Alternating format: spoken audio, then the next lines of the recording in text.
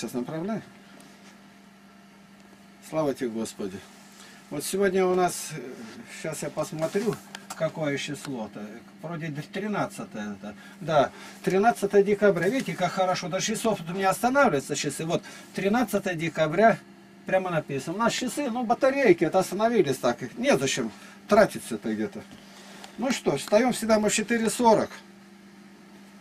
Помылись. Это частный домик-то такой. Это Господь мне дал его. Чудо просто Божье. Но э, на улице-то холодно. И поэтому у меня получилось так, я держу три кошки, потому что у меня голубятни, там много зерна, семечки, мышки любят это. Крысы приходили раньше, сейчас крыс-то нету, а мыши все равно есть. Поэтому кошек иногда туда сажаю, но сейчас холодно. Ну, недавно в одной библиотеке мыши появились и ничего не могут сделать. Сделали запрос, за мной прислали такси специально. И у меня рыжая кошка, рыжку. Ну, я ее в сумку посадил и отвез туда. Там жизнь прямо изменилась у них сразу. И каждый день договорились по интернету, дают отчет, как она себя там ведет. Вот. Рыжая. А у нее дочка, это белая, такими желтыми ушками, белая называется. А у нее сын белый. И чтобы нам ветер не дул из-под пола, на ночь мы их сажаем под пол. У нас там картошка, там морковка, варенье. Там тоже бывает иногда мыши. Ну вот, палочкой, которую подпираем, сверху положу плотно. А теперь вот эту вот снимаю и выпускаю пленников. Вот, а, вот они мои, вылазят, вот они где, вот от маленький. Ему пятый месяц только идет, он какой герой. Вот они, мышатники. Вот, а теперь вот такая вот сделана задвижка, закрывается. И ставим ее на день, но все равно ветер-то походит. Но ночью у нас не остывает, а оттуда как просто дует, как трубу. Вот они сейчас пойдут. Смотрите, как они себя ведут. Люди, у людей дерут они диваны, у нас не дерут. Я, они нашли где можно. И каждый раз надо погладить. Вот сейчас они будут подходить, почистить надо им когти. Вот она подходит сейчас. Если она подходит, ее надо погладить. Это так закрепляется за ней. Ой, да молодец. А он в очередь становится за ней. Пошел. Тоже подойдет. Сейчас в очередь стал. О, вот как. И они дерут палочку, на которой полки стоят. Да молодец мой, какой хороший. Нигде ничего не сделать. Вот они как искоблили ее. Вот покажи, Володя, поближе, подойди. Тут она тонкая уже, ну приходится убирать вот это. А так как ковер зажатый здесь, я уж хотел показать, мы щеткой пробуем убирать. Вот она ей понравилась. И каждый раз скорее успеть погладить. Ну просто надо уважать. Кошки чистоплотные, нигде ничего от них нету. Они ходят под пол, там, вот они где приходят. Вот они, замечательные. Вот. Показать кое-что хотел сегодня, люди не знают. Вот, а, вот. Я раньше досчитал примерно 50 книг аудио. Как Бог все устраивает, и даже придумать нельзя. Я видел, что людям это надо знать. Люди просят, а как бы мне это послушать? А я записывал проповеди Ярла Николаевича Пести. Ну, в одном экземпляре, а магнитофон был там 150 метров, такая маленькая катушечка-то, ну совсем махонькая.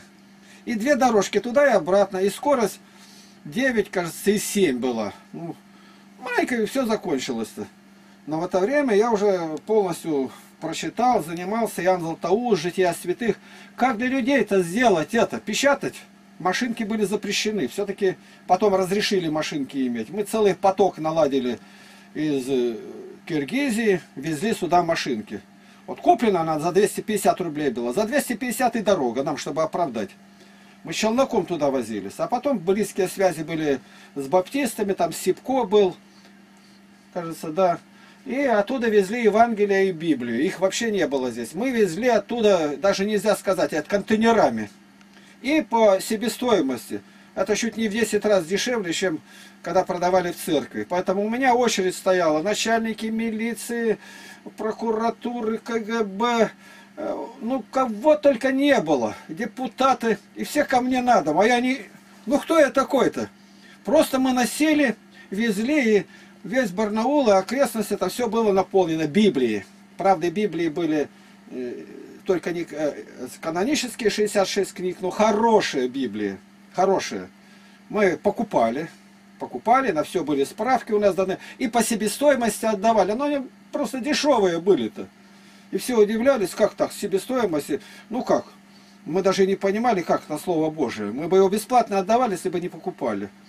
Ну вот, я просто рассказываю, что в любой обстановке можно делать что-то. Вот я сейчас говорю, сразу обвинять, а ты хвалишься. Так есть чем хвалиться-то. А то нападают те, кто ничего не делает. Я хвалюсь моим Господом, Он нас хранил. Люди погибали на тропах, когда завозили Библии. Мы знаем эту страшную историю. Это отделенные Совет церквей баптистов работали. И мы с ними были плотно связаны. У нас были деньги солидные. Я печником работал. Власть мне не давала нигде работать. А работал я неукротимый был. У меня работа всегда была 280-300% выработка. Это Бог мой давал такую силу мне. Вот печку делает, ну, что такое печка-то? Кто, может быть, даже нынче не знает. Вот сюда, зайди-ка в эту комнату показать. Это вот голландка называется у нас. Голландка. Вот. Ну, вот закрывается тут. Вот открыл печка, там зала протопили. Вот поддувальная дверка. Ее откроешь, туда ветер поддувает, чтобы кислород был. Задвижка вот у меня. Первая, нижняя задвижка. Это на, напрямую идет. Вот ее, может быть, даже видно как-то показать. Вот. Я печник профессиональный, я строительный техникум заканчивал. Дед у меня был печником, мама клала печь, и мне от них э, все это досталось знания. Ну, а там уже большая где-то. А это просушка дров, здесь дрова вот они лежат. И вот эту печку начну делать, а обогреватель вот он идет. Там труба. Труба. Ну, тут это берительный еще уже не стал даже это. Обычно делают они несколько дней, два человека приходят. Я всегда приходил один, и у меня от фундамента с трубой две печи в день. Я был сторожем, а оклад был 72 рубля в месяц. 72. Сутки дежуришь, трое дома. Ну и поэтому еду на велосипеде, с сумкой, глина, песок, частный сектор. У вас не печку делать, да, печника не можем найти. Но когда я делаю, я делаю намного дешевле, чем та, такие, которые ходят, пьют там. У меня ни выпивки, ничего нету. Раза в два с лишним дешевле тепло до самого полу, э, угля тонны на полторы меньше, и в течение года бесплатный ремонт, если что-то случится. Это вообще... Ну и под моим именем начали, как говорится, плагиаты ходить-то. Ну и быстро разоблачили. Целые бригады ходили, будто я нанимаю, договариваюсь, а сам я не делаю. Вот под... Ну, разные были. Какая-то татарская бригада тут организовалась, а что у них? Приходится разбирать заново и все это делать. А свободные дни зимой где-то я насчитывал пленки, и распространял. Я хотел сказать, как у Бога все высчитано. И вот на такой маленький магнитофон, и его, ну, просто невозможно ничего сделать. Такие, ну, как сухарики. Вот такие, они катушки тогда были там. Ну, прям совсем никакие. Э, я даже не, не могу сказать, сколько метров были, 150 или что-то. Потом-то пошли они 520. Я думал, как сделать-то? Как сделать, чтобы другим-то пленки-то дать-то? Пленки еще продавали свободно. И вот в это время, когда я начал размышлять, а толку-то от моего размышления, я в церковь и на молитву. Пост объявляю сразу и начинаю молиться. И вот я иду по партизанской, тут улица такая, одна из центральных улиц. А в это время Бог делает так. Здесь был такой молодой человек, неженатый, Ричкунов, Алеша его звали, на самом деле он Леонид. Леонид Ильич, как Брежнев. Вот тоже интересно это все. Он за русский язык. А он из старообрядцев. Мама была старообрядца, и он к ней ходил. Так, ну-ка, ты мне тут сейчас помешаешь, пока беги гуляй. Вот. И вот он думает, по-русски-то как бы служба-то, кого? У старообрядцев по-русски-то, ну ясно, что он не понимает, что это вещь вообще еретическая для старообрядцев-то. Но он такой очень талантливый был по технике. Вот едешь мимо свалки, мы едем, он на тогда мотороллеры были-то. Он обязательно на свалку заедет. Брошенная какая-то холодильник, посмотрел, забираем. А, там машинки швейные, японские эти тогда были э, маленькие, кассетный магнитофон, он где приедет. Все ремонтирует. Талант. Его берут трамвайное депо, если я с отклонениями говорю. И там в трамвае стоит чуть не парк целый. Он сломается, ничего не сделает, но его наняли. Пройдет там сколько-то, месяца два-три, весь парк, все на ногах стоит у него. Так его директор, там, какого завода, где он работал, домой привозил. Домой. Его ценили, не знаю, как ему просто цени не было. Вот такой талант, если он сейчас был живой, он по несчастью погиб, то я даже не знаю, что бы он сегодня мог делать, какие программы составлять. Талант Божьей милостью. И он в это время идет, и там у него идет и с бабушкой разговаривает по партизанской сюда красноармейскому. И говорит, ну, непонятно же ничего, служба прошла, ничего не понятно. Вот, ну, как-то бы сделать понятно. Она говорит, такой человек есть, который за русский язык старается. Она такая активная бабушка-то. Есть такой, он говорит, а кто это? Она говорит, да он к нам не ходит, он ходит к никоньянам. Ну, это для православных так называют. А кто он такой? Он до того живой был, он прям, весь волос кучерявый такой, он как просто, ну, картинка на него смотреть-то было. Вот он спрашивает, и она говорит, да Игнатий звать его, Игнатий. Фамилия его, кажется, Лапкин. Она говорит, а уже так сумерки начались маленько-то. И я иду по этой стороне, по этой улице, на этом участке, и она вот так смотрит вперед. Леша, так вон он, Игнатий-то и идет. Вот только заговорили, это вот все от Бога. Вот чем похвалиться? Это Богом. Ну, остановились, когда он с такими влюбленными глазами еще не разговаривая. А вы что, это знаете, как за русский? Я говорю, у меня перевод, молитвы есть, и надо Библию читать. А у Сарабаса Библии-то нет. Он не читал ни Евангелия, ничего не знал. Все. Все, теперь вот так, вот он показывает, вот так со всей силой мы будем слеплены на несколько лет. Если бы не он, вот этого дома не было бы. Этого бы не было. В интернете, что вот я выставил, выставил то, что нигде в мировой сети нету. Это 50 книг начитанные. Я на нашем сайте к истине один народ.ру, ну 3W впереди ставить. Там выставлено аудио, аудио, я насчитываю полностью Библию, 77 книг. Она в интернете, запустите Игнатий Лапкин Библия, сразу найдете. Ее растащили по всей вселенной. Дальше 12 томов Иоанна Златоуста. Да нет, этого в мировой сети нету этого нигде. По отдельным где-то проповеди сейчас стали появляться. И что интересно, я все отклонение делаю. Я когда слушаю, когда другие насчитывают что-то там, я всегда сравниваю. Вот я читал это, как? Да никак, как? Что сравнивать-то? Лучше, все делают лучше, чем я, лучше, красивее. Но почему-то берут только мою. Почему? А там, говорит, музыки напустили никак. А вот этот читает на меня, говорит, это видно, что с верой. Да, я с верой. Да он ошибается, его расстрелять мало на меня. Ну, не расстреляли пока. Вот, сажать сажали, тюрьму за, за плечами, а расстрелять не расстреляли. Ну, разные отзывы-то. И на завтра он придет. Я спрашиваю его, а ты что, по магнитофонам знаешь, да? Я говорю, вот у меня такой магнитофон, он на две дорожки только, туда-сюда, и одна пленочка-то это, там 150 метров. Ну, она, ну, 25 минут, допустим, и туда и сюда уже закончилась. Он говорит, нет, сейчас есть магнитофоны другие, да и самим можно сделать как? А сделать так, чтобы скорость была поменьше, не 9, а 4,7. А как это можно? Так магнитофоны есть. Не слыхал такого. Он говорит, так не две дорожки, а четыре туда, обратно, потом кнопку нажмешь, и будет она первая, там четвертая, потом вторая, третья. Вот это да. И сколько будет? Он говорит, ну, есть на 375 метров, я-то уже наизусть знаю это, это 8 часов 20 минут. Это одна катушка 8 часов? Так это 8 часов. У меня шарики, говорит, разбежались. Он говорит, так это не все. Можно сделать так, что с одного магнитофона записывать не на один, вы на один записываете, ну а как? Да с одного может записывать хоть 10, хоть... Как, с одного магнитофона и сразу на 10, и они все писать будут. Я говорю, пока один включу, а другой-то уже пишет. Нет, одной кнопкой все будут срываться. Я смотрю на него, что городит. Да как это может быть? Это... А у меня все рассуждения о кирпичах, я сын пастуха, о коровах, об овечках, я понимаю вот это. Ну, бык не может сразу 40 коров покрыть, а по одной знакомиться-то я...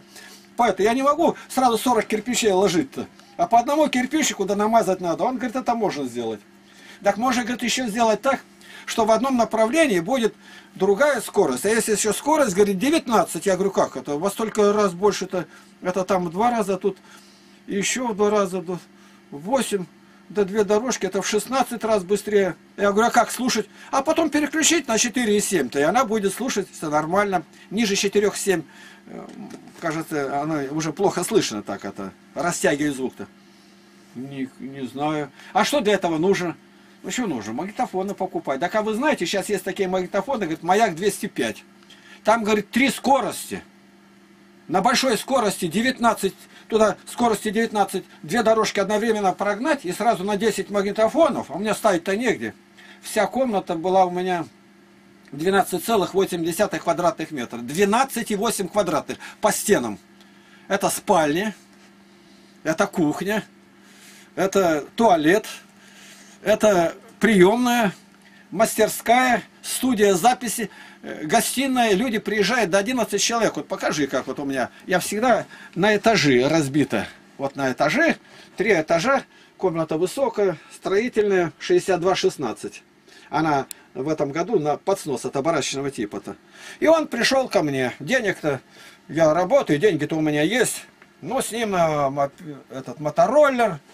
Ну и пошли. Маленько пройдет времени. И пленки будут подавать по 5 только пленок где-то. Вот тут столько препятствий. Я думаю, это из-за меня. Потому что до этого никогда не было. И вдруг пленки мы стали брать по тысяче. А что такое тысяча пленок? Это один ящик, 40 пленок, бывает 60, а потом по 100 такие большие были ящики. Это же катушки. Вот это вот самая маленькая, она лежит, пленка, вот 270 метров. 270, а были 150. А другие это 375, вот на них это основное. А потом 525 были. Ну, мы едем в Новосибирск, Академгородок. Помню, один раз в Академгородок мы приехали, а магнитофоны эти вот эти вот, вот стоят. Вот а маяк 205, вот подойди поближе, чтобы видно было. Вот, это вот я его включаю. Вот здесь громкость. Ну, я снял здесь такие, э, пош, пошире стоят где-то. Здесь вот это э, звук. Вот здесь вот э, тормознуть, тормознуть, чтобы она не шла. Вот здесь вот первая, четвертая дорожка. А вот здесь вот третья, вторая. А записывать можно две сразу. Вот так вот. Я ничего не знал. Это только Леша знал это дело. И вот я так вот это включаю его. Вот она. Вот она теперь пошла.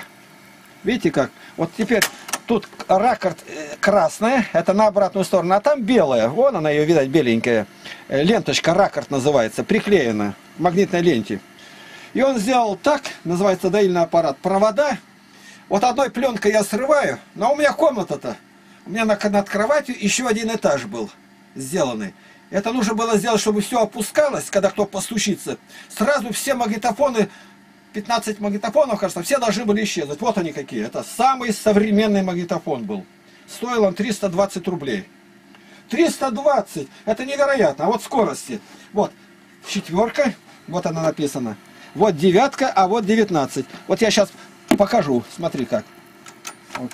вот она идет. Теперь я переключу на девятку. Вот видно, что быстрее мотает. А вот на 19. Вот она пошла. Вот на такой скорости одновременно на две пленки на две дорожки. Это, это скорость. Так, слышно. Теперь я переключаю на это.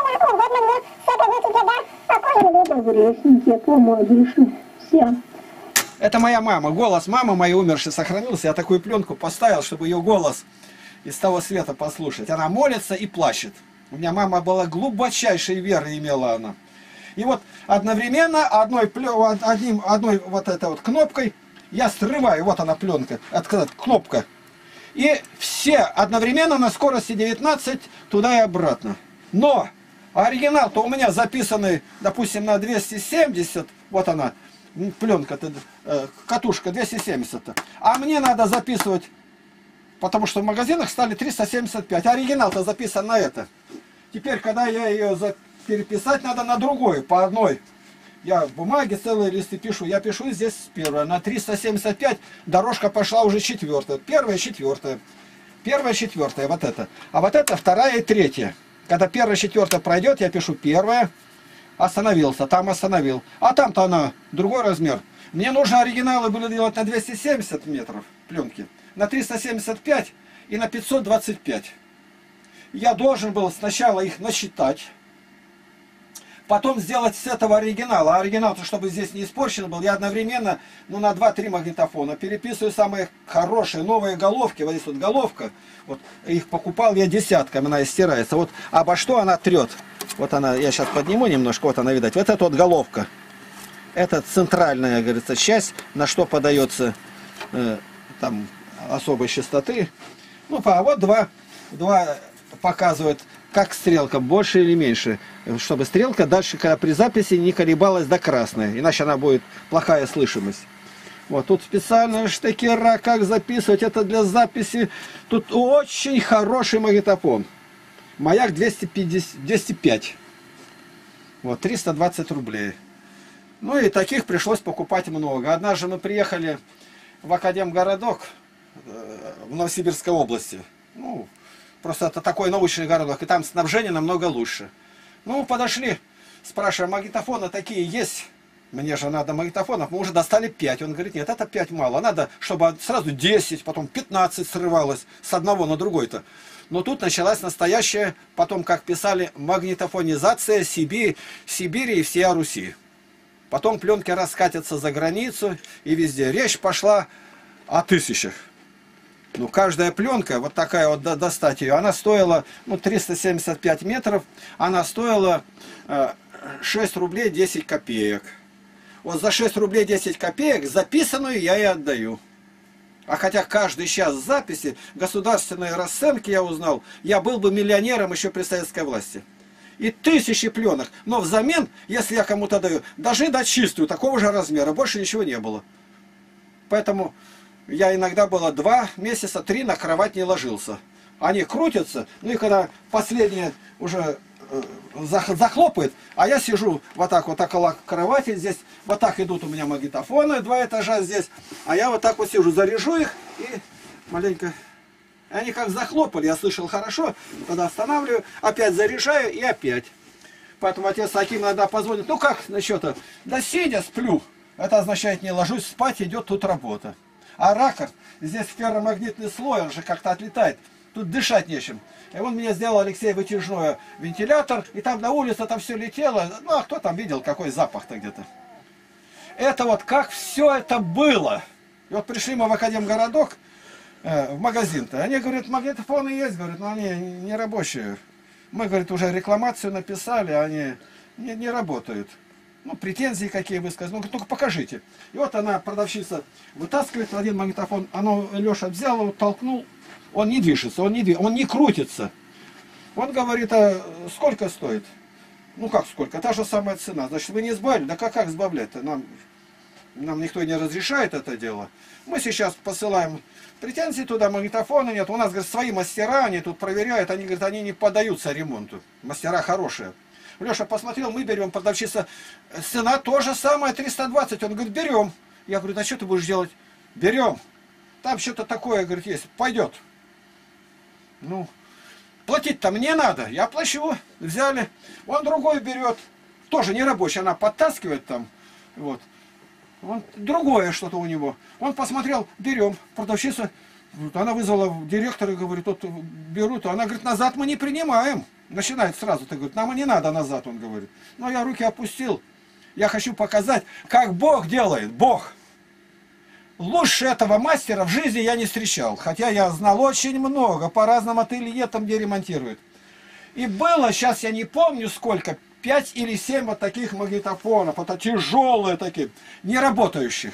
Вышли мастера, им сказали, они говорят, мужики, мы, они говорят, не поддаются ремонту, мы их проверяли.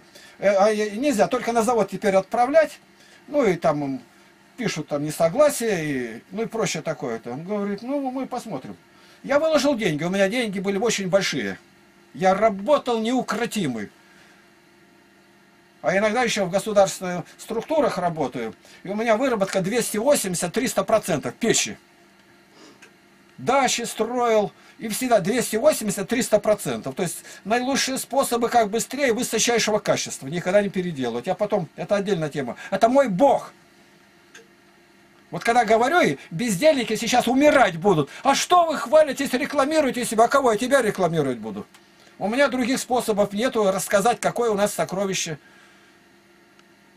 Ты покажи веру твою, без дел твоих, Яков говорит. А я покажу из дел моих. Не боялись этого? Я, я. А как Павел говорит, я более всех потрудился. Я, Павел говорит, это за что будет ответ? Мы нет условий Божьим. Слово Божие говорит я. 4800 раз эта буква встречается. Это местоимение. Поэтому я говорю, я это делал. Но я бы ничего не сделал. Без меня ничего не можете.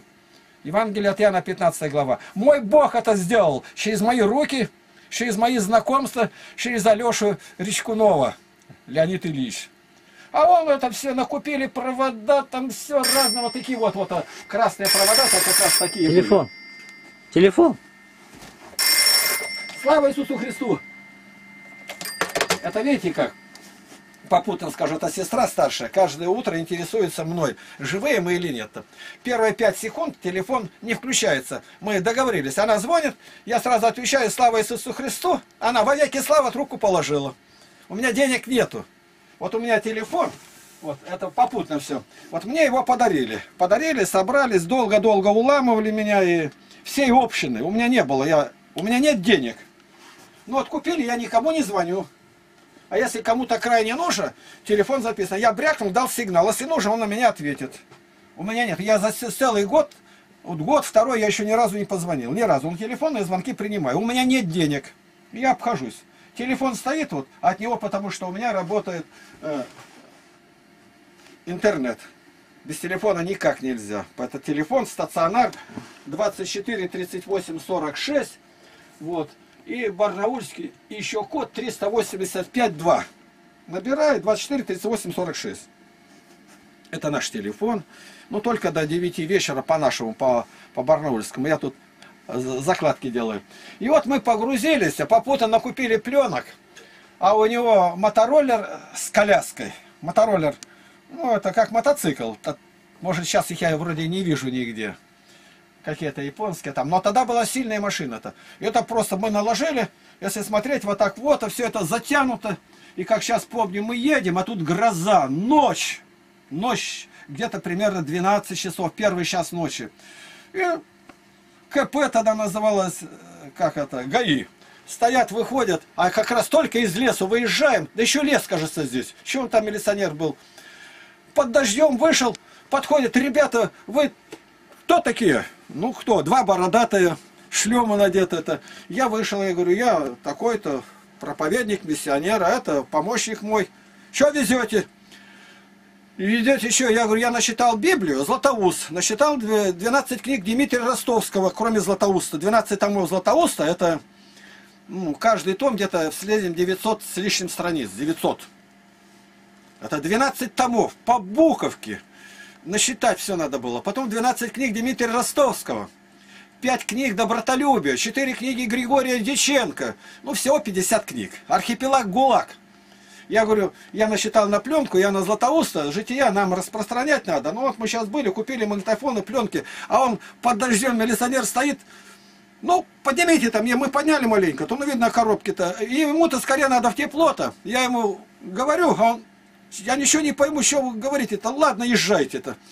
Главное, мы никогда нигде не лгали. И через это Бог нас выводил. Привезли домой, распечатали. Я говорю, а что с ними делать? Они не, не работают. Я займусь завтра. Я завтра не работаю, я займусь. Ну, прошло два или три дня, все до одного работают. Работают до момента, когда у меня КГБ все это отнимет. Ну, поставили предел. Но пройдет несколько лет. Я говорю, а как ты узнал? Ну как, говорит, а у него уже, говорит, вот это есть. Э, он не просто смотрел, а крышку вскрывал и узнавал. Смотрел каждый магнитофон. Он говорит, я по частям, вот, э, видите, тут схема такая, я по частям сразу раз, а у него прибор с собой. Я понял, что здесь, тут не что. Я говорю, а что тут было? А там маленький трансформатор, там проводки на заводе не досмотрели, они соединились и замкнуло. Говорит, «Ну, это совсем незначительно. А вот ну это вал надо, говорить. Я на завод пошел, протащил у троих, валы были неправильно проточены. Это талант был, не талант, а талантище. Но он мне встретился. Это он. И когда у меня все изымут, я сижу, буду судить с 11 лет, высужу 11 миллиардов должно было государство мне.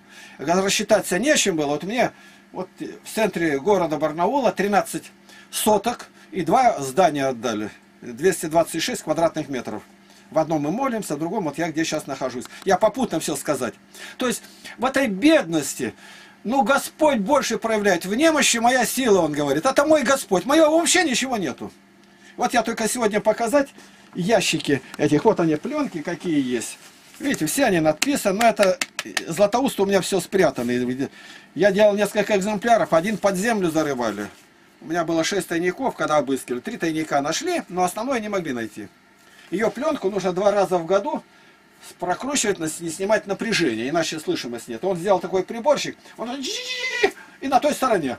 И опять все на место встало. Надо, чтобы белый ракорд был. Вот она белая стоит, вот она белая, значит, это начальная. Она прокрутила, теперь назад идет. Вот он белая приклейка какая есть. Ну, у меня тут даже сейчас, он посмотри, сколько висит этих, э, на которые заматывать надо. Вот такая была в начале. В начале вот такие были, вот. Вот. Ну, а потом уже стали вот такие вот. Это 275 метров. Вот. 270. А вот 375. Их даже видно, какая, какая разница. 375. Вот. Я даже сниму, э, чтобы показать. Вот. И вот это 525. Вот их видно даже. Вот. А, видите, как они идут. Ну, м, я почти наверняка знаю, больше меня никто не переписывал и не брал. Так как уже в это время был запрет, уже не разрешали продавать больше пяти, и нам нужно было брать много. И я сделал э, запрос, ну, друзей, там много везде, нигде не переплачивать. Абсолютно нигде, не, не давать никакой взятки. Вот. Это вот я сделал. Видите, какие, какие они хорошие. Ну, для людей хорошие, они смотрят, смеются еще. Но тогда ничего не было. Не было никаких ком- компьютеров, никто даже не слыхал это слово-то.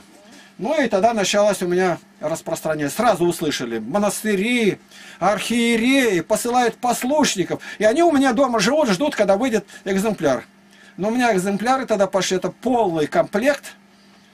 Это две с половиной тысячи часов слушать. 2500 часов.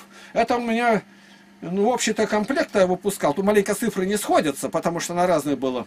200 пленок, 200 катушек, не пленок, 200 катушек. Это один экземпляр. И потом у меня дома вот такое вот пространство примерно, это почти до потолка были ящики э, с коробками, с этими, с катушками. Одни братья везли, а я не знаю, кто они такие даже, лютеране или кто, с Эстонии, и дорогой опрокинулись машина, видимо, заснули. И машина опрокинулась и встала на, на колеса, и они разобрались, в какую же сторону теперь нам ехать-то. И довезли. Довезли. В одном месте, значит, мы в Москву приехали, ходили, ходили, тогда был там наш житель жил, Михаил Федорович Гордеев, он сейчас в Барнаул переехал. Какой он там, что меня не касается, но нас он любил. У него была ставка наша, мы, э, одного человека, человек 6 мы ездили, у нас бесплатный билет был, мы работали в мостопоезде. И билет бесплатный в один конец страны. Могли доехать до Владивостока, до Москвы. Но мы брали такой маршрут. Заехать к родителям во Фрунзе из Барнаула. Оттуда едем дальше. Переезжаем Каспийское, в Баку, Грузия, Молдавия, Украина, Прибалтика. Это в один конец называлось. Санкт-Петербург, Ленинград назывался. И вот теперь обратно едем. Это и нам разрешали это делать. Это Бог делал. Это какой же такая? В один конец страны. В Ленинград мы, значит, проезжали по границе везде. И везде, везде были собрания.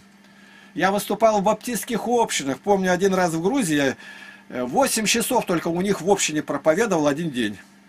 На дагестанском, на грузинском, на русском.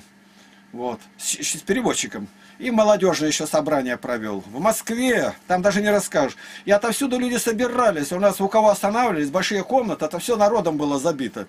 Нам есть что вспомнить. Ну и про пленки там много узнавали. А книг-то нету. Вот чтобы э, жития святых начитать, у меня буквально со всего Советского Союза привозили э, по одной книге. И наказ был не отдавать в руки. И они сидят, пока я насчитаю. А я один, один-то сутки я на работе. Я на работе начитывал, когда все разойдутся. И там продолжал начитывать. И было насчитано. Бывает, привезут книгу, а в ней страниц 40 нету. Мне нужно где-то узнать, в другой город поехать не дают, священник такой был, и на месте перепечатать, вклеить, я переплетчик-реставратор, и теперь насчитать. Даже не выскажешь, какие были. Помню, как-то нужно было толкование песни песней. Я гонялся-гонялся, ну где ее найти, толкование-то? Я же преподаю в разных школах, в университетах, везде, это все открыты мне двери были. Ну и сказали, есть э, в баптистском собрании. У кого? Сказали, Эмилия такая. Я познакомился, взять у ней гусь был, Иван. Она немка. Она говорит, так она на немецком. А я немецкий язык разговаривал, самостоятельно учил. ее. Вот они ее достали. А нет первых страниц. И она готическим шрифтом, а я уж язык-то забыл. Я немедленно сел, язык восстановил в течение одной недели-то. Перевел эту книгу, переписал, и там стихотворение, если в стихотворной форме стихи. Новая книга, издавай. А то, говорит, препятствий, у меня препятствий жизни не было. Я ни разу еще по сегодняшний день не сказал, что это нельзя сделать. Почему нельзя? Я на молитву, вот у меня икона, вот у меня главное мое оружие пробивать, это щетки. Вот. Не менее семи раз в день, три святое и сто поклонов. Вот мы сегодня как. Я говорю, не умирает пусть от страха, который молиться надо, чтобы никто не видел. Вы, главное, не забывайте, они получают похвалу, а я получаю подзатыльник. Весь, вся загвоздка, то иначе тогда в церкви нельзя молиться, тебя видят-то. Где бы ты ни был, везде можешь молиться, совершать крестное знамение, в, автобус садишься, в поезд. Не бойся. Главное это похвала, если тебе. А ты похвалой услаждаешься. Вот в чем смысл-то. А не то, что я перекрестился, тебе еще лишний кусок хлеба дают, а другой дай ему в морду. Ты испытаешь то, что мне за плечами там пришлось это иметь. А люди Писания это не знают, они только подглядывают. Что не скажешь, знаешь, что он пьяница, живет не по-христиански а вцепляется. Так как бы даю понять, чтобы кто будет смотреть, слушать. И вот этот магнитофон, потом он послужил уже здесь, когда нужно было оцифровывать. Магнитофон это у меня все изъяли, конфисковали. А потом, когда я судил, высудил назад, отдавать-то нечего. И стали у людей тогда, ну, где были, доставать. Вот он у меня стоит, вот он здесь магнитофон стоит. Вот видишь как. Маяк еще не, не маяк был, романтик 304, он у меня там в углу заваленный был, с батарейками, вот с ним я везде ездил, а это только, только от электрического тока. И я его в мешке с проводами и еду через весь Советский Союз. Препятствий не было. Вот тут мои беседы были с Александром Менем, был такой священник убитый. Вот ни у кого больше таких интервью нет, у меня только. Я с профессорами, с Митрохиным, вплоть до министра доходил. А, литературный институт, ну, как Розов там был такой режиссер, и сказать, этот, преподаватель. То есть у меня фонотека еще не распечатанная. С Глебом Якуниным, с Дмитрием Дудко это десятки-десятки часов. У меня э, архив был прямо со студии, полученный с Хельсинки, когда судили 136 часов Ярл Николаевича Пести. Пести, когда узнал, из Америки запросил меня прислать мои проповеди со своими, видимо, сравнить. Ну, ну, кто специалист, тот знает. Если рисует, ему охота другие картины сделать. Ну, мне, я послал, что, с Ярлом Николаевичем Пести, я думаю, никто не сравнится. Зачем это? Но он взял и писал он. Он писал мне, что они слушали здесь всей семьей, у него дети здесь в Москве где-то есть. Ну, и очень хорошие отзывы были. Но сравнивать мою проповедь с Ярлом Николаевичем, да, ну, просто не, это другая величина. Я, если так уже по большому-то счету, ну, какой я? Я просто люблю моего Господа и так вот выражаю. Вот, видите, чем занимался где-то. Магнитофонизация всея Сибири, как писал Николай Балашов, ставший священником, он сейчас патриархии по внешним церковным сношениям, большим, говорится, человеком стал. Это все благодаря тому, что мой Бог это делал, мой Господь. Я его люблю. И поэтому за эту любовь меня не любили. И мне пришлось в пяти тюрьмах отбывать. И был реабилитирован. Тут я кое-что хотел сегодня вот это показать. Ну что, даже в бедности я всегда молюсь, говорю, Господи, научи нас жить и в бедности красиво и интересно. И когда стал я оцифровывать, а магнитофоны не работают, эта пленка стоит здесь, и надо писать на магнитофон. Теперь оттуда снимать, чтобы в интернет-то выставить. Здесь Николай Валентинович Польгуев это наш брат сегодняшний, он в этом деле мастер. Не по самойке, а в механической. Алексею Речкунову никого нету равных. Вот. И не встречал, и даже по сегодняшний день никого. Даже те, которые сегодня программисты где-то работают, они, неизвестно, кто бы в то время были. То они большого уровня у меня, братья, которые за мной смотрят, чтобы все было. Вот. Ну, потом стали переходить на кассетные. И теперь мне надо с этого перевести на кассетный. Вот я сейчас выключу здесь. Вот. Так, мне, так, подожди-ка. Мне нужно на, назад теперь все это перекрутить, снять ее. Вот. Ну и теперь что? Нужно установить на низ, ее выключить и закрыть. Это я потом уберу. Это подручник называется. Из всяких тряпочек, когда молиться в церкви стоишь, много поклонов на Андрея Крицкого. Видите, как делаются? Подарочные. Подручник, чтобы не, не на пол, а поклонился Господи Иисусе Христе, Сыне Божий, помилуй меня грешного. И руками на подручник. Это Господь делает, я не шил это дело.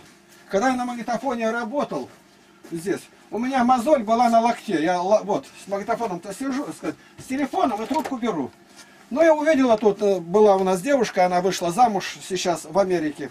Вот. И она а тут моль побила у меня. Она вот такую шила, мягонькую мне под локоть. Если следователь будет разбирать, а что это за подушечка такая? Под локоть. Вот я сел, трубку снял на локоть. То есть я окружен безмерной любовью моих дорогих братьев и сестер, которые облегчают, и без них я бы ничего не сделал. Теперь все это надо было перекрутить на, на эти самые кассеты. Ну вот эти вот, вот теперь вот такие вот кассетки пошли. Вот.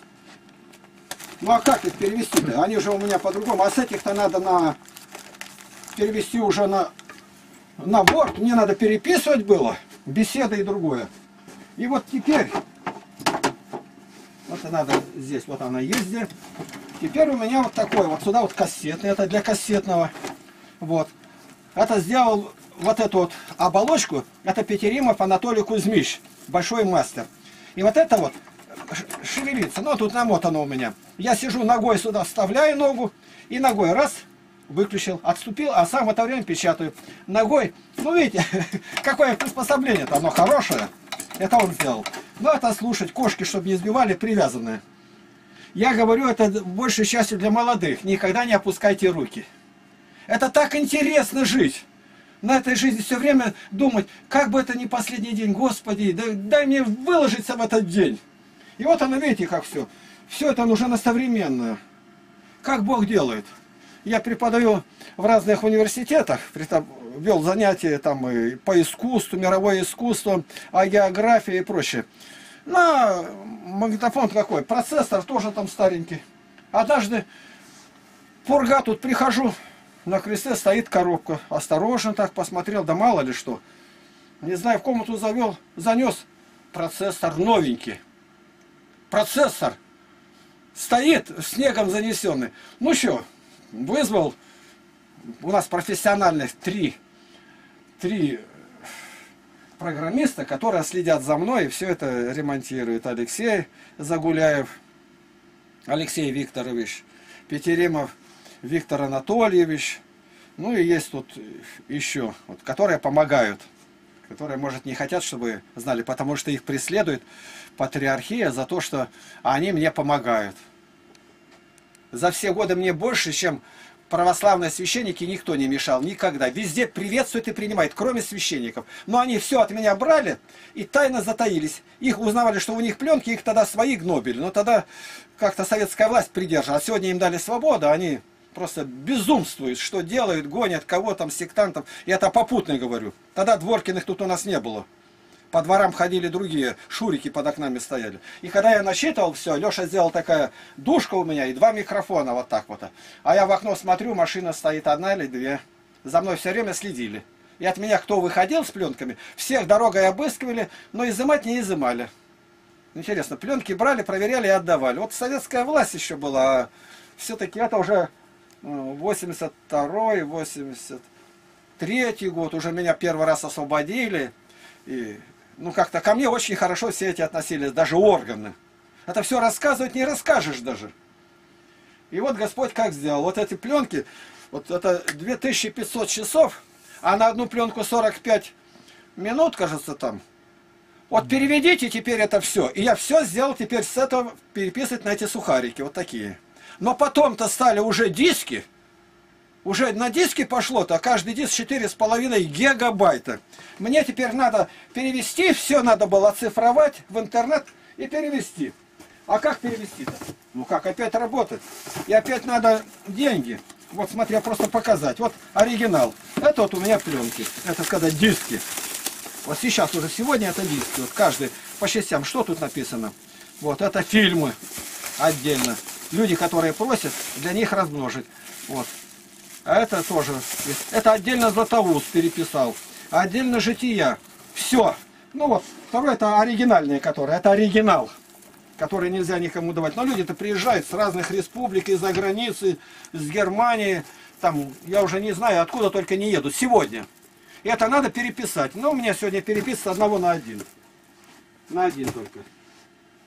И вот один приехал программист у меня, посмотрел, я уж скажу, кто он, не обидится на меня.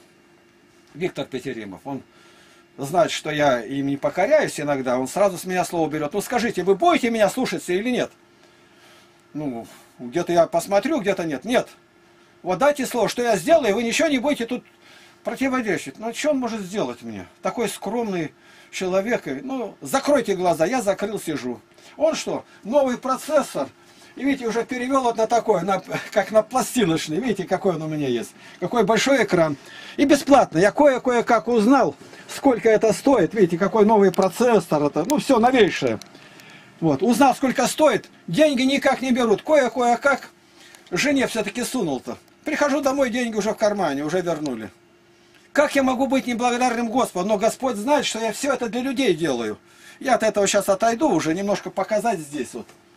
Вот. Ну что, у меня всегда здесь телефон. Это очень хороший принтер.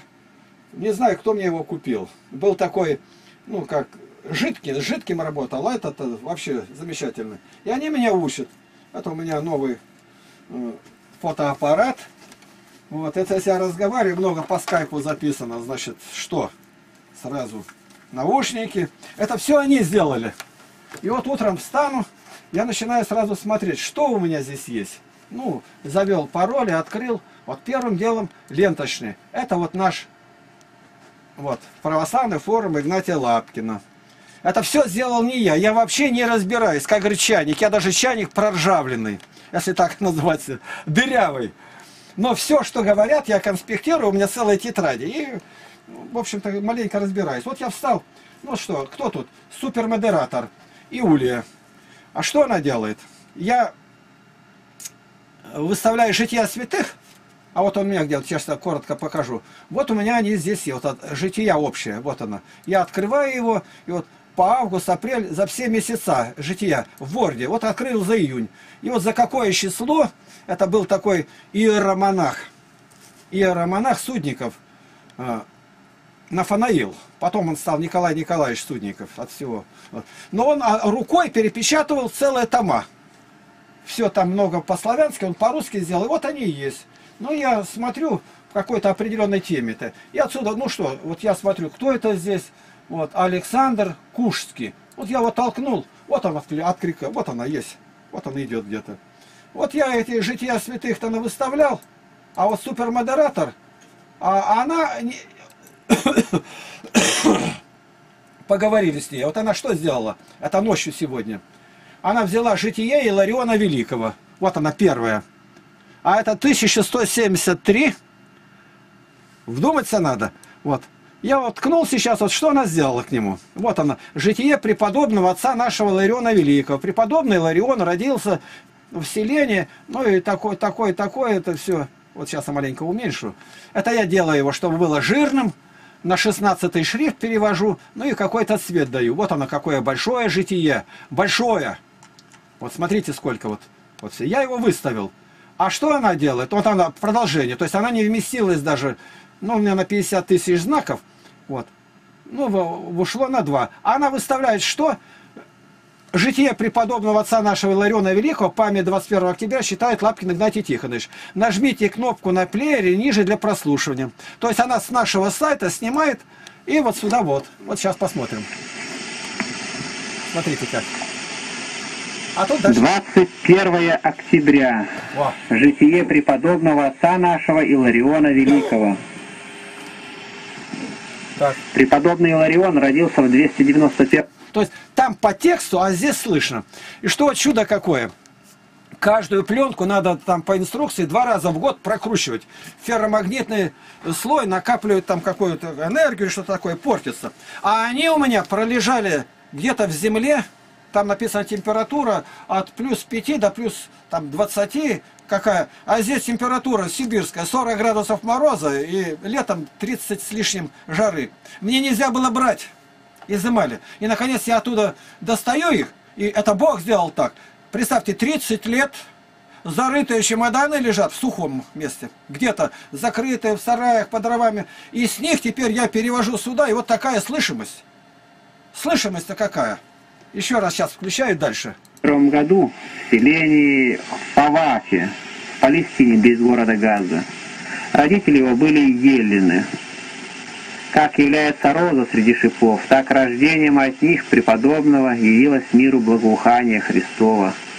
Посланный в Александрию для обучения наукам, он не только вскоре овладел всей той ученостью, к которой стремился, стремились елены, но хорошо ознакомился и с духовной премудростью. А? Крупнее надо сделать. Уверовав в Господа нашего Иисуса Христа, он принял святое крещение и во время частых посещений храма внимал словам божественной службы. Навыкая добрым нравом и сердцем своим горя любовью к Богу, он стал помышлять о том, как бы угодить Ему. Услыхав о святом Антонии Великом, слава добродетельной жизни которого в то время распространялась всюду, Иларион поспешил отправиться к святому, исполненный усердного желания видеть его. Дойдя до места его пребывания в пустыне, Иларион узрел его светолепное лицо и услышал его сладостные речи, указывавшие ему путь к совершенству. Он пробыл некоторое время при святом Антонии, присматриваясь к его ангельской жизни, Вот. Это просто показать. Это все на нашем форуме. На нашем форуме, который, все это, конечно, бесплатно. И вот это можно слушать. Вот оно где. Наш форум. Православный форум Игнатия Лапкина. Это 12 томов Дмитрия Ростовского. И плюс тому я еще две книги настольные священнослужителя при патриархе Пимене выпущены. Я нашел еще около 170 житий, которые у Дмитрия Ростовского не были. Я их туда тоже включил. То есть по полноте у нас ни- нигде в мировой сети больше этого нет. Ну а кто хочет если скачать, вот смотрите, я сейчас покажу как. Вот. Вам нужно войти тогда на наш сайт. Начало-то с кошек, а смотри, куда уже за- заволокся. Вот. Это наш сайт, называется «Во свете Библии». Православный библейский сайт. Сейчас она отработает, покажет, какой он на самом деле целиком. Вот она. И вот, когда зайдете на него, видите, православный форум Игнатия Лапкина, если его щелкните, сразу на форум перелетите. А на форуме там уже зайдете и покажу как. Вот. Что тут? Звук и видео. Вот. Звук и видео. Вот я ткнул звук и видео. Что здесь идет? Библия, насчитанная Лапкиным. Библия, архипелаг ГУЛАГ, творение Анна Златоуста, жития святых 12 книг. А вот жития святых 12 книг. Нам это и нужно. Вот она. Я сейчас ее ткнул. Смотрите. Вот теперь идет. Вот. Я сделал так. Из каждой книги, а в каждой книге, это январь, февраль, март, апрель, в каждой книге. Вот это, к слову сказать, я стою 12 томов Златоуста, я отвлекусь. Вот, 12 томов Златоуста, которые я насчитал. Это мне подарил в Америке архимандрит Арсений в Синоде. И у меня была возможность привезти с собой, допустим, я не знаю в самолете сколько, ну килограмм 20. Э, Потапов, э, отец Виктор в Вашингтоне подарил мне компьютер, а, а этот подарил мне Златоуста. Снял с полки. Это итальянское издание, современное, очень хорошее. Ну, я взял Златоуста, а компьютер бросил. А, а, вот, я привез. И вот такое издание, ну пусть кто-нибудь скажет, у кого оно. Такого немного где-то найдешь. Вот я его насчитал. Я знаю, кто завистники сейчас смотрят, они страдают просто. А что вы хвалитесь? Ну, мне написано, хвалящийся, хвались Господом. Я разве сказал, что это я? У меня нет данных для этого. Чтобы перенасчитать, где попорчено, нужно четыре качества, которых у меня нету. Первое. Человек должен иметь хорошие легкие. А меня месяц держали в морозилке, тюрьме. У меня бронхи полетели, все. Я задыхаюсь и дальше. Второе. э, Должны быть все зубы. У меня зубов половины нету. Третье, третье качество нужно, хорошее зрение. То у меня зрение, я больше 30 тысяч часов провел за компьютером, когда э, вот это книги набирал, 38 книг у меня вышли, свои, свое издание, это зрение. И дальше э, я должен хорошо слышать, что читаю. А я не слышу, я полностью нуль. И здесь только немного. Это я так разговариваю. Вот каждая цифра, я сделал из каждой книги, выбрал первый век из 12 книг, а это 365 дней. А там рассыпаны на каждый день житие первого века, пятого, пятнадцатого. Я выбрал первый век, второй век, вот как написано, третий век, ну то есть по векам. Вот каждая вот это, это дорожка. Ну а сегодня это файл. Это все мне надо было оцифровать. Это все тоже делал сам. Два помощника были, Сергей Пупков по- помогал, и был еще один Егор, он ушел, а, его нету, он ушел. Вот. И вот это вот, вот первый век, 12, век второй, 8. Ну такого нет нигде, просто нету. У меня каталоги составлены были, так вот, э, даже по векам, на, на 270 метров, на 375 и на 525. И это на один листик. Сделайте, чтобы знать, какая, какой житие. Как это сделать? Это же на, на бумаге тогда, насчитано на бумаге. Я так долго думал и наконец сделал. Сделал, эти каталоги разошлись везде. Сделал сопроводительно, это все бесплатно. Бесплатно. То есть тысячи страниц я отпечатал, ну, десятью пальцем. Вот. Вот третий век, вот она, 16. Четвертый век, 48 файлов. Ну вот еще файл, синенький все. Это, вот это вот каждая есть, которая здесь есть, 8 часов 20 минут. Это вся пленка. Ну, делите на 4. На 4 это 2 часа, где-то 5 минут. Вот это один файл. Вот каждый. Но она должна узнать, что там есть. А вот смотрите, а вот дается каталог на жития святых внизу. Давайте его щелкнем. Это на нашем сайте. Вот я его щелкнул. Каталог. А вот каталог, теперь смотрите, что сделано. Век такой-то 5 сентября. Это церковный год, начинается с сентября. Вот. А потом, э, какая там минута, метры, где, откуда делается, и сколько страниц, вот, три страницы. В книгах сколько, вот тут видно 10, это вот Корнилий Сотник. Тут пол страницы, это Севастьяна. А еще дальше где, ну, это первый век. Больших еще житий не было. 13 кто это здесь? Апостол Филипп. 19. 19 это Ирина. Видите сколько? 26. Это кто такой? Апостол Павел. Вот она. 29 июня. Ну вот какого числа, какой файл и сколько страниц, и этот каталог на моем форуме. Вот второй век. Вот видите, я прокручиваю. Это надо было все составить. Третий век. Третий век файла это дорожка, да. А потом, какие именно святые попадают, а почему тут много, а тут мало? Это значит, большого размера были, а эти по мелочи, ну, страницы две, поэтому много. 12, 13, видите, сколько файлов идет. Вот. Это третий век идет. Вот четвертый век начался. Вот четвертый век, смотрите, как идет. Я, я прокручиваю только. Это за один век. Вот седьмой файл 6 декабря Николай Чудотворец 38 страниц. И Амвросий 22. Все только два. Два. Но они заняли дорожку-то. 38 и 22. -то, это 60 страниц. Вот и все. Вот она где. Это четвертый век. Это крутить легко. А это название и страницы. Какого числа по старому стилю. И вот они идут. Ну почему этого никто не делает? Я сделал как мог, так и сделал. У меня соперников нету, соревноваться не с кем. Как мог, так и сделал. То есть я лучше не мог. Это на пределе моих возможностей. Вот. Видите, идут. Тут мало. Вот заранее можно сказать, вот кто 24. Это Феодот и Клавдия. Вот. Симеон, Исаак мало. Тут больше. Константина и Елена, 31. Самые большие Серафим Саровский, 51 страница. Я спрошу, это ни один не скажет. А у меня они, вот они на глазах. Книгу не открываю, я уже знаю. Большое житие или нет. Вот большое что? Климент. А вот Климент, пожалуйста, 4 век.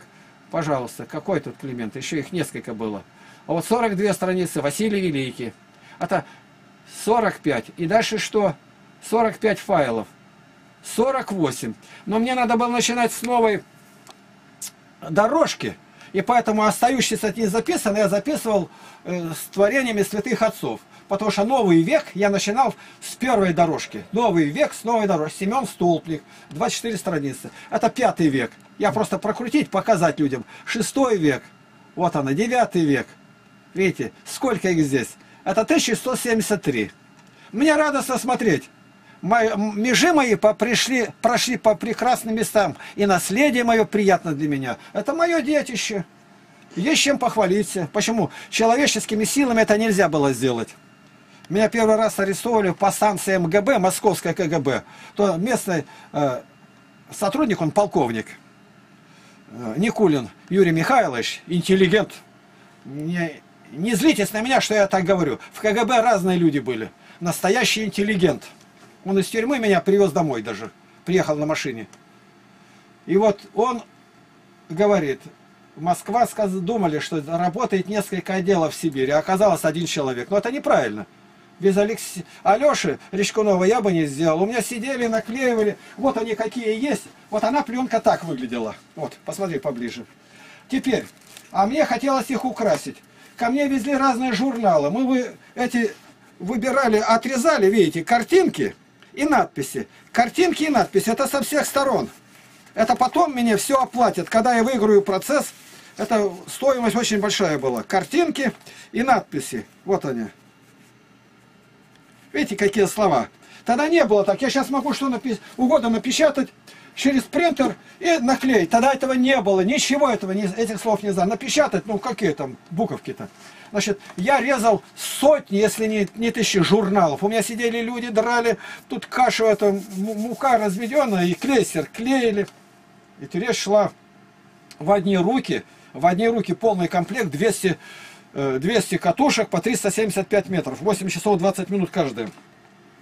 И посчитайте, вот я если свожу, у меня работает 12 магнитофонов, это 12 экземпляров, всего только 12. 2500 часов. Даже сегодня переписывать, и то это не просто, а это на магнитофоне, на каком? И, говорит, препятствие, да какое это препятствие? Вот. Дальше просим простить за возможные опечатки в именах и числах. Ну, где-то. Все делалось с очень плохой копией 30-летней давности. Но при прослушивании житий это легко выправить. То есть, когда вот это выбирали, не слышно марта, не поймешь, какого марта. 6 э, а мне слышится 8 Может быть, где-то какая-то, но ошибок это может быть 1%. Но мы сделали извинения перед людьми. Вот я это показал. Вот смотрите. Значит, так, это жития святых. Но тут-то еще и э, творение Иоанна Златоуста, вот я его толкнул. Вот они, творение Иоанна Златоуста. Первый том, второй, третий, восьмой, двенадцатый. Вот каждый, это файл, это дорожка, каждая дорожка 2 часа 5 минут. Вот оно сколько. Вот я стою перед ними. Почему никто этим не занимался? Во всем Советском Союзе никто. Почему? Меня Бог на это избрал. Я верю в свое избранничество. И вот, вот этот сайт сделал. Это не я же его сделал. Это невозможно сделать. Самые трудности были э, даже не в этом. Вот самая ценность на нашем сайте, попутно сказать, это вот 4124 ответа. Это у меня, я издал а, книга «Открытым оком», 30 томов, он, покажи вверху. Вот, 30 томов. Ну, может, плохо видать их. И вот нынче я уже проехал, э, нынче 2013 год, мы проехали Германия, Австрия, там в каждой национальной библиотеке мои 38 книг. Это 750 евро стоит. 750. Кое-что переиздано уже. И 444 библиотеки имеют эти книги. Эти книги в библиотеке Ленина, парламентской, исторической в Москве. Здесь. Во многих церквах э, вот, а частникам я продаю. Если кто желает, может купить. Это все тут у меня спросить и зайти. Библиотеки дарю. И вот здесь я отвечаю вопросы. Первое. Бес и колдовство. Библия. Богослужение. Болезнь. Тут, может быть, даже не видать. Я крупнее это больше не могу никак. Вот.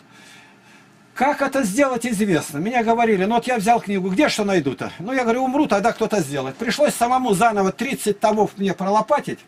И 55, вот, последняя церковь, 55-я, рядом подойди поближе. Вот, смотри как, вот она, чтобы видно было. Царь, царство, священство, политика, и вот канонизация, коммунизм, крещение. Ну, допустим, вот крещение. Я в него ткнул один раз. Пошли вопросы. Вот вопросы. Первый том 415, 50, дальше. Том второй. Может ли при жизни человек, не удостоившийся встречи с Господом, а веровавший в простоте сердца, надеяться на спасение? И нужно ли ему принимать крещение? Это вопросы, которые мне задавали в школах. Я где-то примерно в 20 школах вел занятия. В пяти университетах, во всех техникумах, на заводах, по радио, три радиопрограммы вел.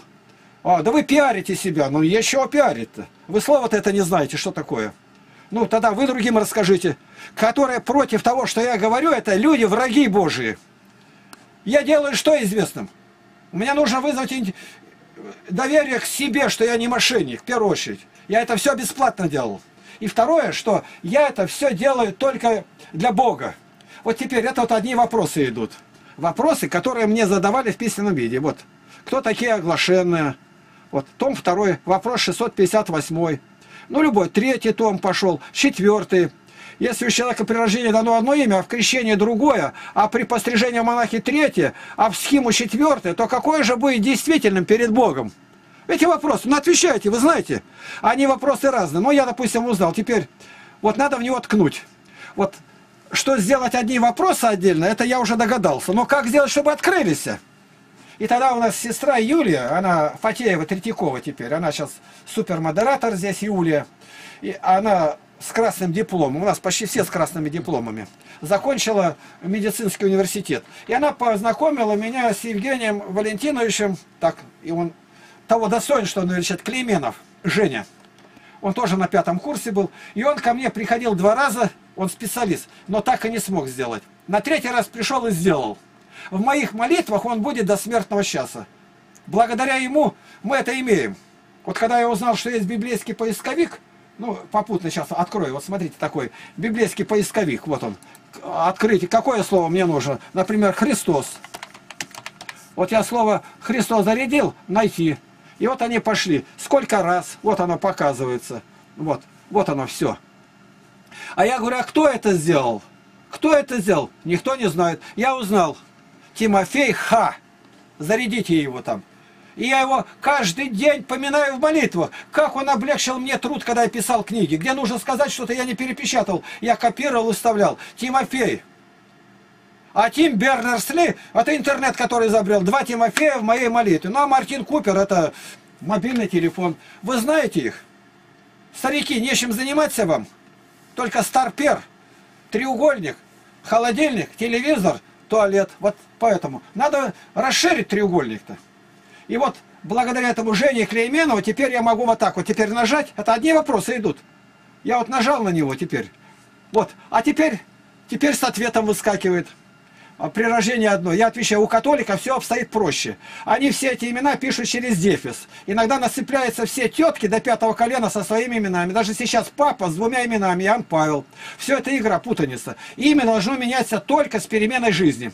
Пусть кто-нибудь скажет, почему Савл стал Павлом но это имя он получает после, почему-то после встречи с язычником проконсулом, у которого было два имени. Можно только догадываться, что обращение этого проконсула было необычным, очень приятным для Савла, и он решил взять это имя себе в покровительство, как бы унижающее, уничижающее, смиряющее его, Павел по-еврейски малый, который находился с проконсулом Сергием Павлом, мужем разумным, сей, призвал Варнаву и Савла, пожелал услышать Слово Божие. Это вопросы. Вопросы. Так это такие ли вопросы-то? Это 4124. Вот смотрите, сегодня люди, ну, хотят какие-то вопросы себе решить. Вот, допустим, смотрите, 14 что, евреи? О, жиды проклятые, и Россию продали. Ты за это ответишь. Это народ благословенный у Бога, богоизбранный. А ты что евреям подыгрываешь? Ты тоже жид яговистский. Это на меня.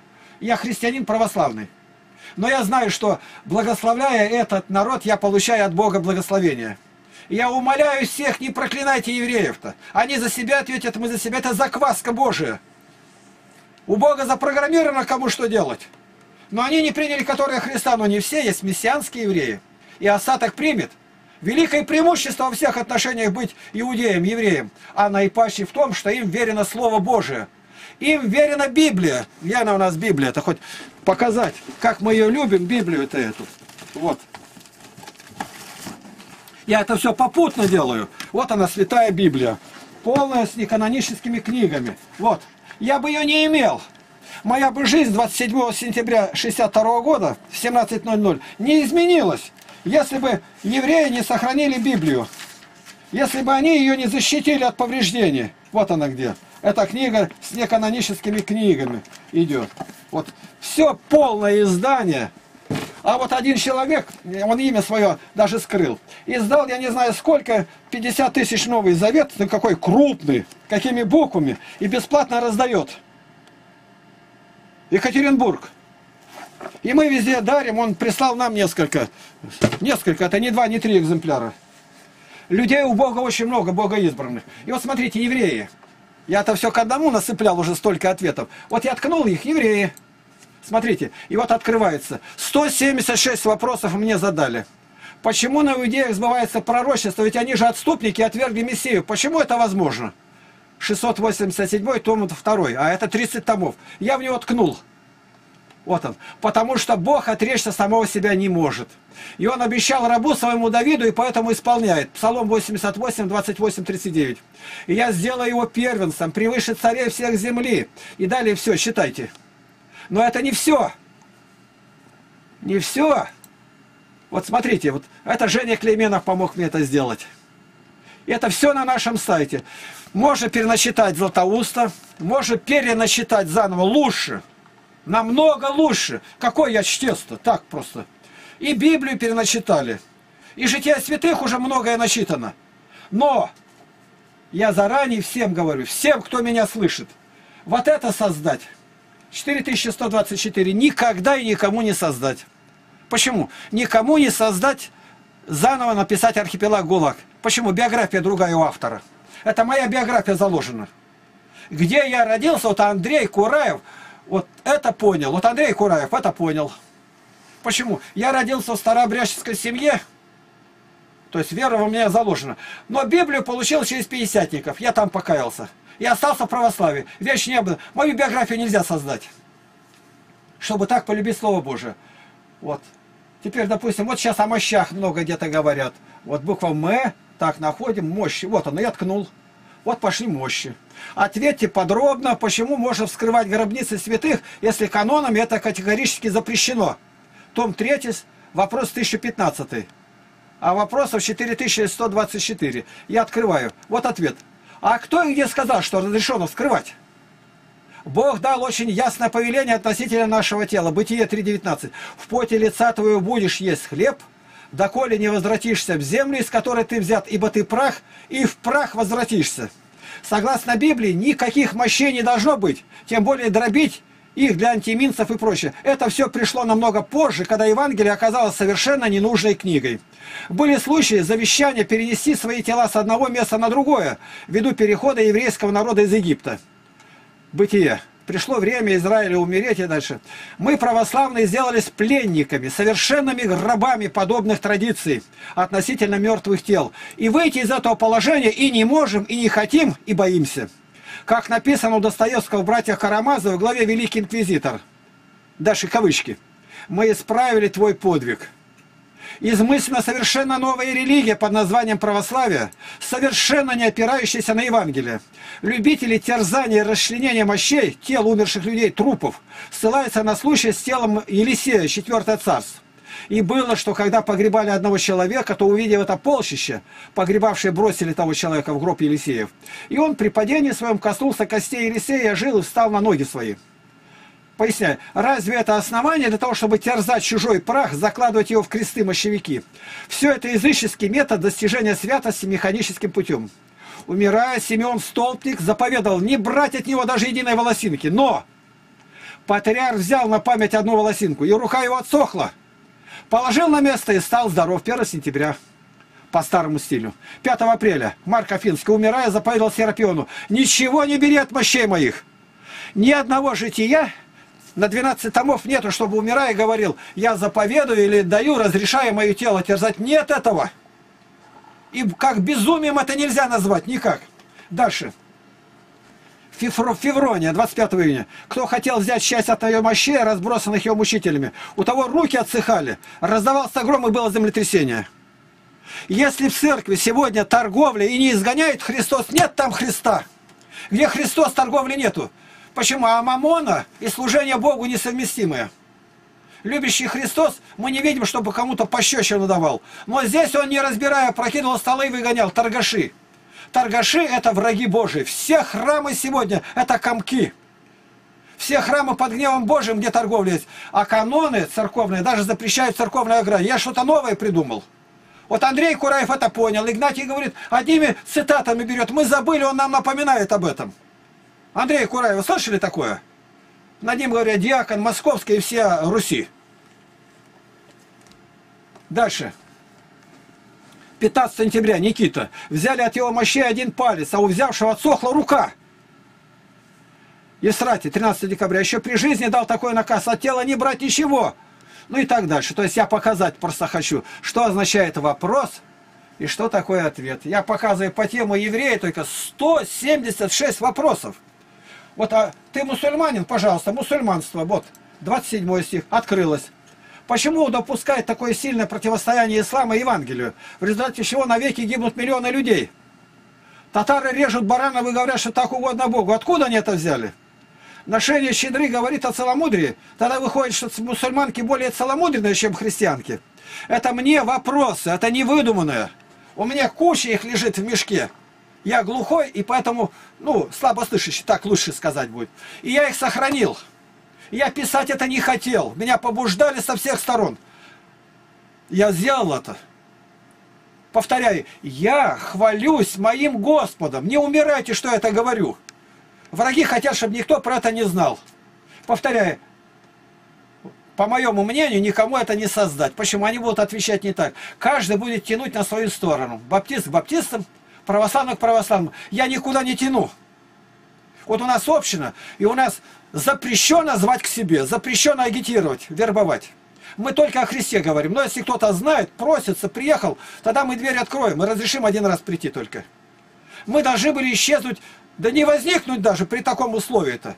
Все тянут к себе, к батюшкам. Мы этого не делаем. Почему? Да может быть в очах Божьих мы просто карикатура. Куда я могу звать? Я зову людей ко Христу, к Евангелию. Вот, пожалуйста. Смотрите, сколько. Это вопросов столько про мусульман. Когда считаешь восточные сказки, то там говорится о джиннах. Кто они такие? Ну, отвечайте, кто знает. Как работать с мусульманами? Вот работал э, Даниил Сысоев. Сейчас канонизации там готовят и прочее. И меня вопросами засыпают. Как вы считаете, надо канонизировать, не надо? Я говорю, не надо. Почему? Да он святой. Канонизирует, выдумывает. Павла Апостола кто канонизировал? И Божью Матерь никто не канонизировал. Это все выдумка. Он святой. За 1300 лет я знаю жития святых. Никто так не любил мусульман, как Даниил Сысоев. И в доме любящих били меня. Он герой веры, если хотите. Знать, это мученик, священномученик. Он святой у Бога, минуя мытарство сразу в как он говорил. Вот. Что-нибудь написано в Коране о Биане Крестителе? Я вот на, на вскидку скажу, говорите, кто специалисты. А тут вы можете у меня найти 18 том, 3227 вопрос. Я ткнул в него. А вот ответ. Ответ. Похоже, что автор Корана только слышал нечто про Иоанна, а читать не приходилось. Потому такие скудные сведения о родителях выдуманные, а об Иоанне вообще нет ничего. Коран, 19 сура, 2 аят. Кавычки открываются. Я не отвечаю ничего. Я просто цитирую Коран по сурам и аятам. Если у меня три тома посвящены евреям, то я работаю с еврейской литературой со всей еврейской литературы. И они говорят, да что ты мне Талмуд показываешь? А Талмуд сколько книг? Ну, толстая книга. И все. Это 12 книг. Ну, маленько хотя бы, вот смотрите, вот Коран открыто, и теперь, и вот кавычки, где? 15 21 аят. Так сказал Господь, это для меня легко, и сделай моего знамением для людей нашим милосердием. Дело это решено. И понесла она его, удалила с ним в далекое место, и привезли его мухи к стволу пальмы. Сказала она, о, если бы я умерла раньше этого и забыла, забеды. Видите как? А дальше я сравниваю с Библией. И не знал его, но пославший меня крестить в воде, сказал мне на кого. А дальше стихотворение. Стихотворение мое, «Игла». Игнатий Лапкин. Вот. Как раз на эту тему. Теперь мы возвращаемся к месту. Это утро сегодня я хочу уже показать. Вот, самое ценное, и этому нет равного, нет равного в интернете нигде. Вот, допустим, на букву «Р» разбор выступления. Вот смотрите, а что такое? Я ткнул в него. Ага. Чье выступление вам больше всего понравилось за круглым столом, проводимым по теме «Религия против экстремизма»? Дальше, интернет. Разбор ответов на вопросы, заданные отцу Максиму Козлову.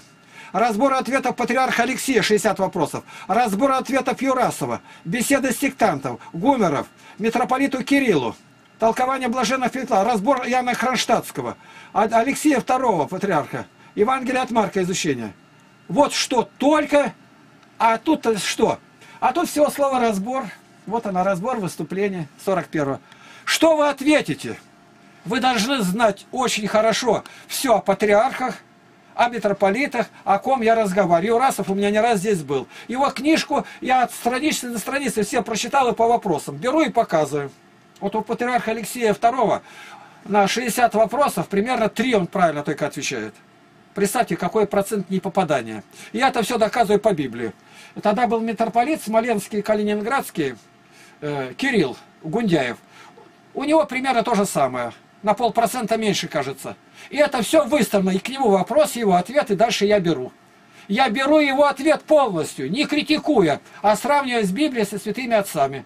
И говорю, почему он так ответил, причину-то. Это вот наше сегодняшнее утро, 13, 13 декабря. Ну, думаю, на сегодня хватит. Это вот только утро одно я рассказал, показать кошек хотел, как сделать, чтобы они где-то в, в, в определенном месте тащили когти. Где они у меня есть? Давай-ка посмотрим, куда они ушли. Мы кошками начали, кошками закончим. Вот заметьте. А, вот они лежат, на плите. Она протопилась, и маленькое что-то есть. Видите, на ней сушится. Здесь семечки от тыквы. Вот они. И вот он лежит. На улице холодно, но он очень любит гулять. Он пятый месяц. Вот я его вызову. Так, ну кто гулять пойдет? Ну-ка гулять, пошли. Пошли гулять. Гулять. Выходи. Ну, прижался. Котя, пошли, белый. Белый, пошли гулять. Он любит. Давай, иди. Это в стенке. Вот там, ушел. Ну, ну, ну, ну, уходи. Дверь закрыта, хвост убери. А чтобы никто не прижал, крупно покажи, что. Вот. У меня добровольно. А вот она не идет. Вот она лежит. Ну, пойдем гулять. Гулять пойдешь? Она еще не понимает, что такое. Ну, сейчас попробуем поближе поднесем. Но выкидывать я ее не буду. По... Рядом поставлю. Смотри, вот она. Пойдешь гулять? Пошли гулять на улицу. Пойдем гулять. Пойдешь? Ой, да с теплой-то плиты-то неохота. Ну, давай, иди. О, пошла. Все. Мы никого не затягиваем. Не всех, кто не на улицу. Пошла. Вот покажи, Володя, какие у нас тут надписи. Если видно будет. У нас везде Слово Божие. Видите, а распятие, оно темное, потому что у меня был пожар в другой квартире, сожгли. Вот. Ну что, не пошла она никуда. Вот она пошла. Володя, гляди, куда она пошла. Чтобы я ее погладил, видишь как? Она заискивает передо мной. Да она молодец. Она знает, чтобы я ее не брал. Я ее, она думает, что я-то, чтобы ей нравилось здесь. Она думает, это мне нравится-то. И подходит, скребет и ждет, когда я ее поглажу. У нее именно такое понятие. Ей не надо, она уже когти натащила сегодня. Это она для меня сделала. Благословенная скотинка. Я иногда святой водой их краплю. Итак, прошу, не завидуйте и не злитесь и не судите. Это вам поможет жить без болезни. Не-не-не, не ревнуйте и никогда не обижайтесь. Вот эти «не» выстроите в ряд, что я сказал, и все будет как надо. Вы 90% болезней уже уйдете. Живите красиво, интересно и азартно. Считая каждый день последним. Благословен Господь. Ну все на этом, я заниматься насажусь. А то у меня... А вот что я делаю. Покажи-ка еще. Посмотри. Вот. Я это закрываю, мне это уже не потребуется. Ну, свернуть можно где-то. Ага, так, подожди-ка. Э, что у меня здесь? Сжечь житие. Вот. Теперь надо мне подняться. Вот новое на сайте, новое сообщение. Вот здесь ткну сейчас. Новое сообщение. Вот тут уже пришли, вот красным. Это означает, ко мне кто-то пришел. Второе, это что? Это мой сайт. Это сказать, Mail.ru. Я считаю, лучшая система. Ни с какие фейсбуки, жив, живые журналы, контакты и прочее, э, там, одноклассники даже не сравниваются. Но это год назад такое было. Они его сильно сейчас сделали, ужали то нельзя. Тогда можно было у меня, вот, допустим, 10 тысяч я одновременно большой текст мог посылать. Ну вот ко мне заходят друзья. Кто она? Ксения Иванова. Видите, просится в друзья. Кто такая Ксения Иванова? Как я делаю? Вот я захожу, сейчас посмотрю, кто она такая. Примерно-то. Ну, видно, что она не безобразничает. Вот сейчас я посмотрю. Так, Ксения Иванова. Это тоже учитесь, как работать. Вот она зашла. Я сейчас смотрю фотографии, видео у нее нету. Тут ничего плохого у нее нету. Ну, нормально. Так, Теперь я делаю что? Сворачиваю, у меня заготовка о нашем сайте. Я его поднимаю, Ctrl, это что у меня здесь? Да, Ctrl-A выделяю, Ctrl-S копирую и захожу. Захожу теперь подружиться. С Сеней мы друзья, теперь написать сообщение. Ну, теперь-то мы с ней друзья. Теперь я ей это вставляю под сюда вот в ее рамочку. Все, поехала. Все, она от меня получила. А вот зашла тут желтая Полина Мерс, Мецкер. Кто она такая? Что она пришла? Ругаться, благословиться, не знаю я. Она говорит, сколько лет Мецкер Андрею? Игнатий, у нас был знакомый баптист, а Андрей Мецкер. Я вас приветствую и спасибо за отклик. Я ей вчера послал, она вчера. У нас был Андрей Мецкер, очень хороший человек, баптист, зарегистрированный. И он ходил к нам. Вот тоже случай был. И там была Маша Глушкова, еще один э, Регин, которые к нам были расположены там. И вот когда у них богослужение закончилось, это Радищева 67, тогда был Никонов Алексей Дмитриевич у них пресвитер. И после их, их богослужения баптистского, а там остается хорист, и они начинают, ну, как за спевка. То такое и есть. -то. А люди-то там, э, которые стоят там, одеваются, разговаривают и мешают-то. А Андрей Мецкер там впереди-то стоит и показывает, братья и сестры, там потише маленько, мы начинаем спевку-то. Чего? Спрашивает. Ну как им показать-то? Никак-то. И он тогда им показывает, ну мы молиться будем сейчас, здесь, мы сейчас молиться будем, вы молитве мешаете-то. Ну вот то, что он молитву показал так-то, это пресвитер заметил. И я знаю, что крестное знамение это от Бога. Почему? Потому что такой ненависть вот к этому взмаху руки, вот к этому не было, вот к этому не было. Почему именно к этому? Вот та маленькая девочка Марина считает там наизусть разные стихи. Ну скажи, она сможет перекреститься? Она наизусть считает, там поэмы целые, а перекреститься она не... забудет через полминуты, как это делается. Его заметили. Значит, его, этого регента там, и Машу Глушкову сразу исключили баптисты. И они, не знаю, наверное, не меньше года были на отлучении. Только за то, что он перекрестился один, а те его не осудили. Против крестного знамени. Он не говорил ни слова. Он оправдывался, говорил, да, ну я к Игнатию бываю, хожу, но я баптист. Я несу свое тут свое служение. Но они разговаривают, я им кричу, молиться будем, а ничего. Но я их показал, молиться будем. Но не мог он показать так, как у мусульман молятся. То даже люди не поняли. А это они поняли, а, брат, дорогой, мы не будем разговаривать, мы на улицу пошли. И вот это Мецкер, я ее вчера спрашиваю, вы Андрюшу Мецкера знаете или нет? Вот она, Мецкер. Вот. Теперь мне надо э, ее потом будет найти и ответить ей. Теперь я захожу заново на свой. Ага, ей отправили. Вот сейчас ткну в эту, и я возвращаюсь на свое. Это моя страница. Ко мне заходят люди. Что они говорят? Это вот я стою и э, наш устав церковный. Церковный, как в церкви себя вести. Вот один тут пристал, тут Николай Таран. Прославился чем? Я знаю, что эти люди никакие, они не церковные, ничего нет. А маленько так э, наслышались. А почему не сказали о первой заповеди, любить Бога? Позвольте. Да это это как вести себя, что вытер, вытереть ноги, переодеться. Тоже я не Коран пишу, не Библию. Он опять тоже, я ему поясняю, что у нас здесь другая цель. Да нет, это должно было быть, я говорю, это о церковной дисциплине. Торговля категорически запрещена. Вот, в алтарь мирянам не входить. И вот прицепился на это, он такой богослов-то. Но я что еще могу сказать-то? Ну, вижу, что человек ничего не, не знает. Я ему поясняю тогда. Это о церковной дисциплине здесь а не устав. О церковной дисциплине. Так, не устав прихода. Является объединение верующих, а устав такой, на основе учения, преданий и правил русской церкви православной для удовлетворения религиозных потребностей и нравственного совершенствования его членов – Назначение прихода состоит в том, чтобы входящие в состав его верующие, объединенные единством веры в Христа Спасителя, молитвами, таинствами, христианским учением и церковной дисциплиной, содействовали друг другу в достижении вечного спасения через участие, через участие, еще какое участие? Здесь поясняется. Таинство, добрую жизнь, значит таинство христианское просвещение, добрую жизнь и дела христианского благотворения. Он мне снова отвечает, все так, но разве церковь не есть прежде всего училище благочестию? Я ему поясняю, что это устав внутри, как вести себя, чтобы дети не кричали выйти. Он еще не понимает. Я никогда не вступаю в полемику, никогда нигде. Я сказал не только для него, для всех. Они поняли, все, моя миссия закончена. Я дал вам Наш устав написанный. Как себя вести, придут если люди, как помочь им правильно одеться, у нас определенная форма. А ничего не знают. Дальше у нас канал, православный видеоканал, открытым оком. У нас здесь наших 1384 ролика. Ну, я знаю, что у Осипова, может быть, и есть, у Кураева. Но у кого еще есть? Его! Не просто он говорит, а это они не могут показать, кого называю. У нас отдельно, как строится деревня, детский лагерь по всему миру с миссией. Осипов ничего не покажет.